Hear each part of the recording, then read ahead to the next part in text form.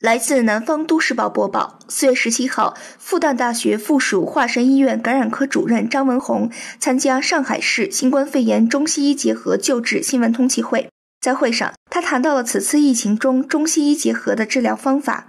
他表示，上海本土病例接近百分之九十三的患者用了中药，治愈率高达百分之九十七点五，这是中西医并重、中西医融合一起治疗的结果。西医专家的声音一开始会响一点，而救治过程中，中医的威力慢慢显现。就像有些武功快一点，有些武功慢一点，但也持久一些。他说。